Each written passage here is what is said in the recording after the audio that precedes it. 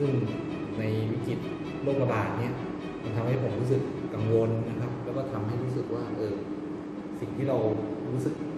กังวลที่สุดก็คือลูกลูกของเรา ในความไม่แน่นอน ความเปราะบางอนาคตของเขาหรือว่าชีวิตของเขา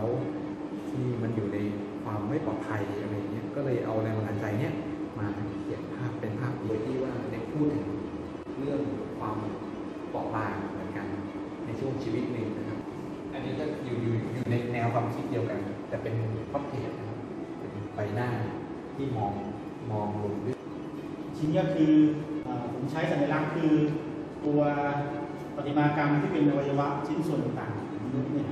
การสร้างการถอดพิมพ์พลาสเตอร์ของอวัยวะ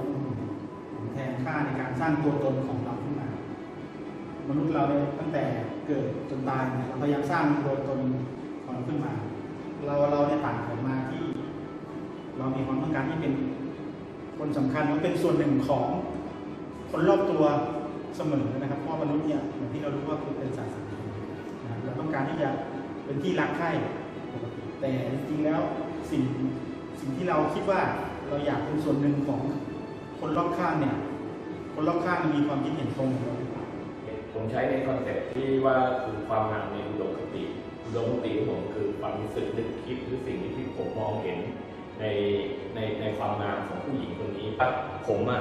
นำเสนอคือการได้ยินได้ยินเสรีภาพ แต่เสรีภาพเนี้ย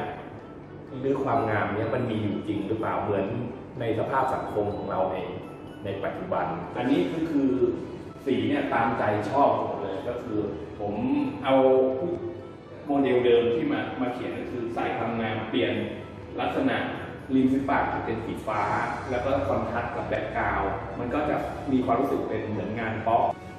สำหรับรูปนี้ผมสะท้อนก็คือในในแว่นเนี่ยมันก็คือผลงานผม ซึ่งต้นแบบเนี่ยก็คืองานผม อันนี้ก็คือรูปรูปเดียวกันแต่เปลี่ยนสีผิวเปลี่ยนลักษณะการแต่งตัวเหมือนการชำเลืองมองผู้หญิงอีกคนหนึ่งเนี่ยว่าเอ้ยทำไมรูปลักษณ์เราเหมือนกัน แต่เวลาแค่เปลี่ยนอะไรบางอย่าง ความงามก็จะแตกต่างกันออกไป ขอริเชิญ